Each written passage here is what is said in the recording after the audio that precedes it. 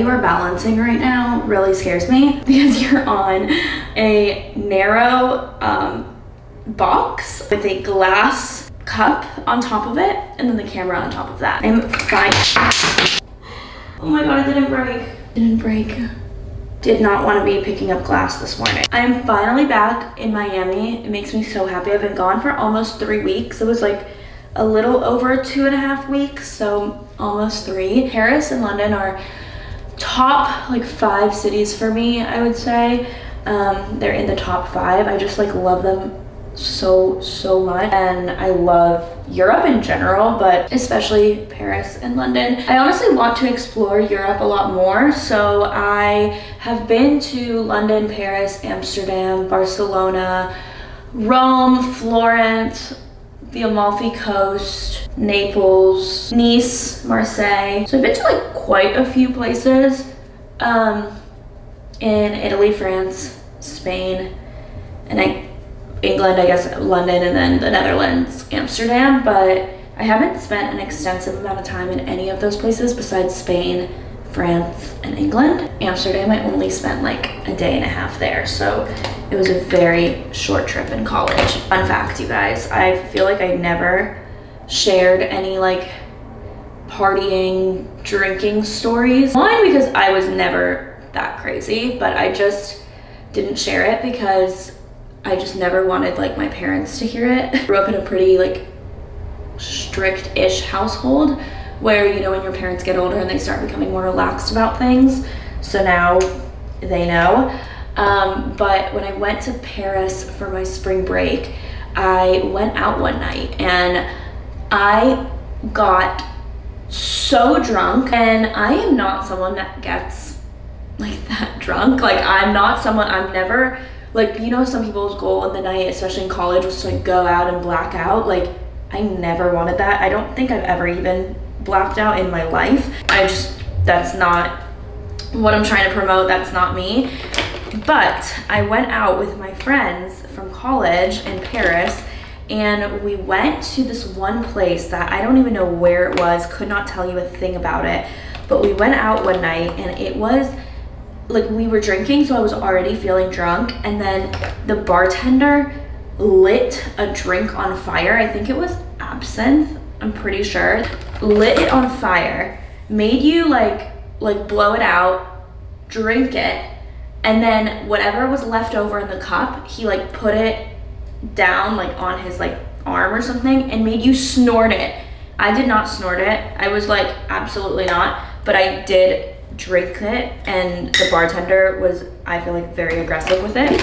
And I, like after that, it was just so bad. And the next day, this all ties back to Amsterdam, because the next morning we had a 6 a.m. flight to Amsterdam and I was incoherent. Like I couldn't function whatsoever that night. And so my friends, I was with three friends, and so two of my friends were on that flight with me. The other one was staying in Paris, so but the checkout for the Airbnb that we were staying at was that day.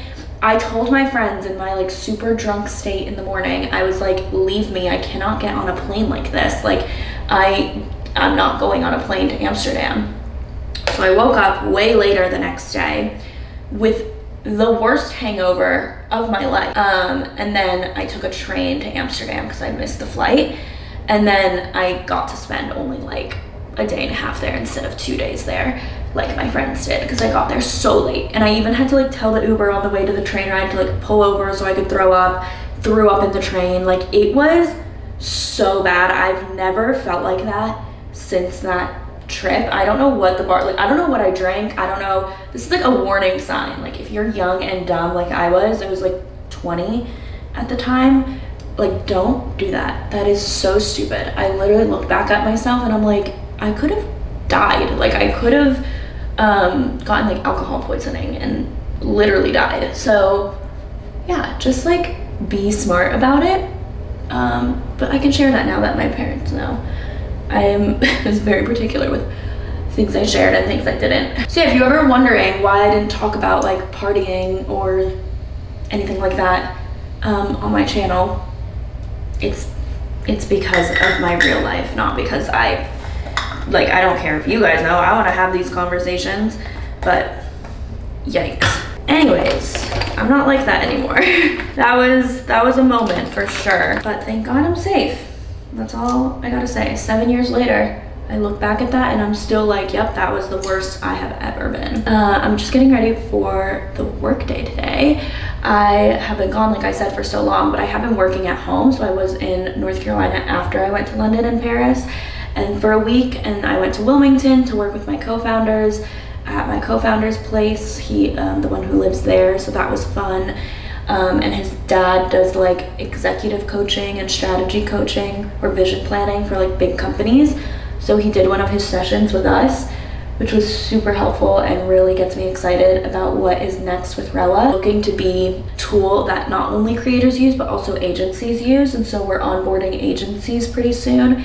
So I'm speaking to so many like talent managers and um, man, like, yeah, just like influencer agencies. So if that is you, please message me so we can set up a time to talk. Also, oh my gosh, how could I forget? I was on Forbes 30 under 30. I can't believe I forgot to mention that. I just wasn't vlogging when I found out. Forbes 30 under 30 did a local edition where they went to like a few top cities in the US. But there was a ton of cities that did a Forbes 30 under 30. It was their first year doing the local one instead of just like under, you know, industries or by industry. And so me and my co-founder were selected for the um, Miami one, which is just so exciting. And I had no idea this was a thing. I didn't know, so I had applied to the national one because that's the only one that I knew about. I had applied to the national one. I've not heard back from that. I am a nominee though. So they did email me that I'm nominated um, which is really exciting. So I really hope I do get the national one. But for the local one, I didn't apply to anything. They had reached out to me. And so I had to like fill out a form, answer a ton of questions. It was like so many questions, not just about the business, but most of the questions were actually about like your opinion on things. So like the questions could be like, how do you think COVID affected the economy? And how do you think it made an impact in your business? And do you have a positive or negative outlook about the US economy right now? And it was a lot of, and, and why? What's the worst advice you've ever received? What's the best advice you've ever received? Who is someone that you want to get dinner with? Filled that form out, and then I found out I got it the day the list came out. Like, they don't tell you beforehand you're gonna be on it. They just tell you if you're nominated and they make you fill out that form, and then they're like, okay, well, the list comes out on August 9th. So the list came out, I'm just like so, so excited. I applied for the national one as well, but they do it by like your team, not just you individually. So because I have two co-founders, Connor was on the Miami one because he lives in Miami.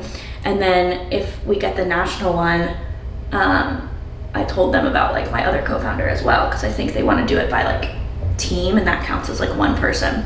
But anyways, I'm just so like grateful that I got that. I can't believe it. Like that's a really big recognition and I know that there's a lot of like stuff that people say like, oh my god, it's not a big deal. You can like pay your way on or blah blah blah blah blah. I'm sure some people can pay their way on or I'm sure some people um like I don't know, like know someone and then that's how they get on the list, but like at the end of the day, it's still pretty cool to be recognized for it.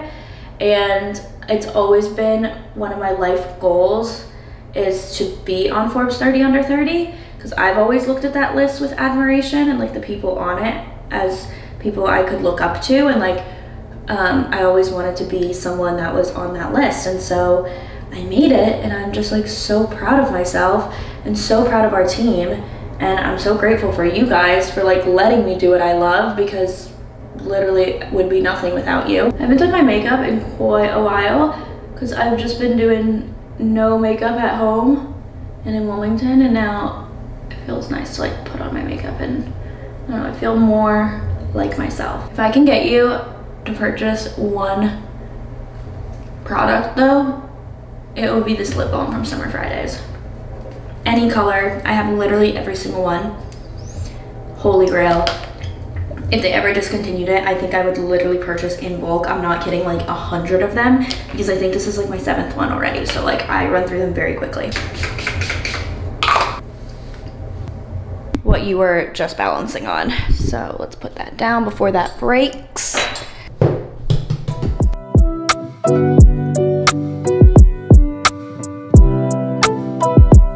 Just got done recording with Alma. Hi guys. I am so excited for this episode. She also lives in Miami and we just got done talking all about how she started her swimsuit business and it's such a good episode. Yeah, it was so fun. I'm so excited to see it. This video is sponsored by Squarespace, and if you don't know what Squarespace is, it is by far the easiest way to build your online website. I am a big believer that if you have a business, whether it's a small business, whether you have a startup, or you're a solopreneur, you need an online website. I even encourage anyone to have one so that you can show off your resume, your portfolio. You can just have a space that you own, and it's a lot of fun to make one. Squarespace has such beautiful templates, and they're all customizable, so you don't need to worry about yours looking like your friends because you can customize it however you want.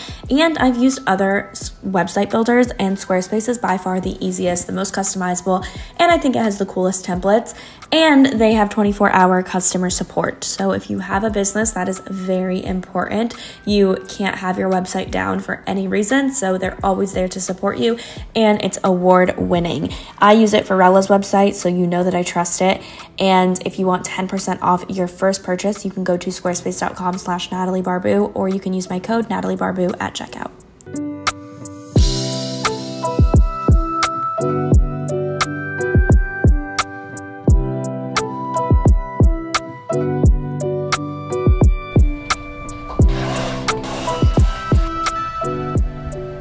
Good morning. Starting off the morning with a workout. I actually really don't want to work out today, but I'm doing this 14 day power Pilates thing on form.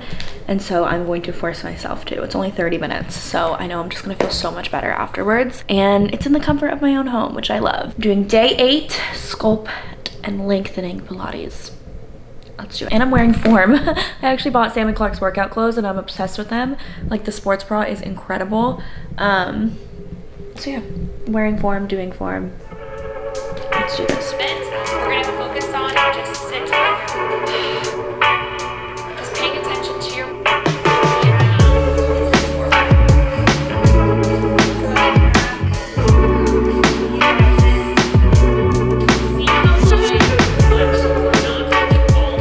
Worked out. I knew I would feel better afterwards. This is your sign if you're thinking of not working out today just because you don't want to.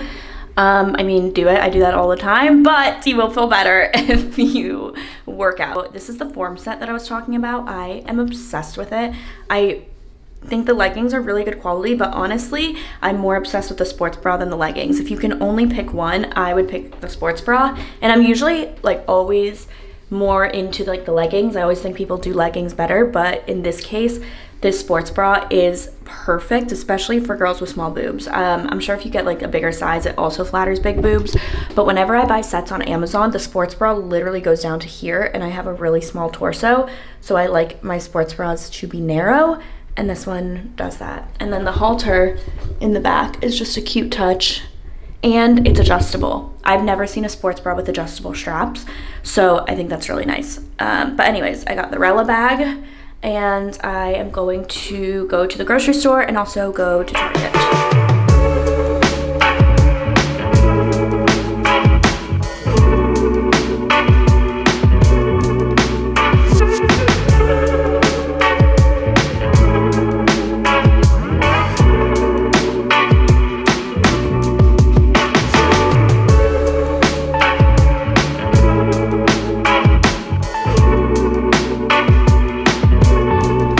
Just made lunch. I made pasta salad. This is my favorite go-to meal. So I have like the lentil pasta salad or pasta, um, tomatoes, cucumber, bell peppers, spinach, olives, mayo, olive oil, and vinegar.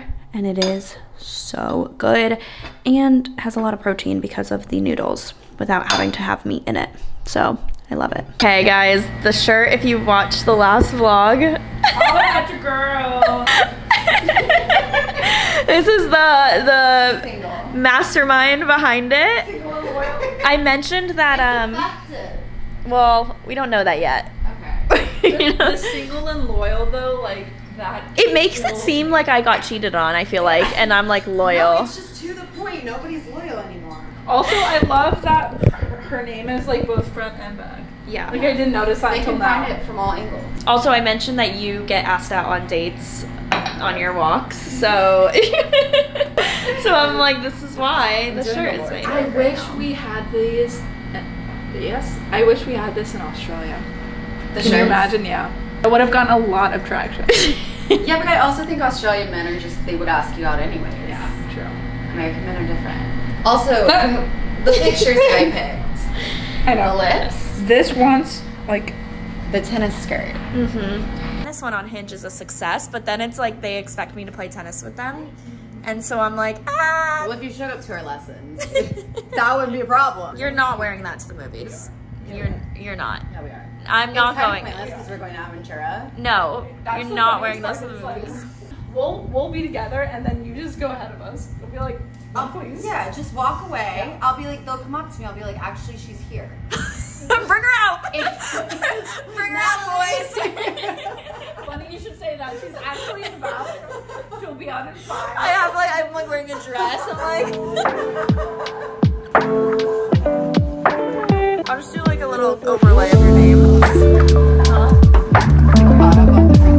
I'm scared my phone's gonna fall behind the stove, so I'm.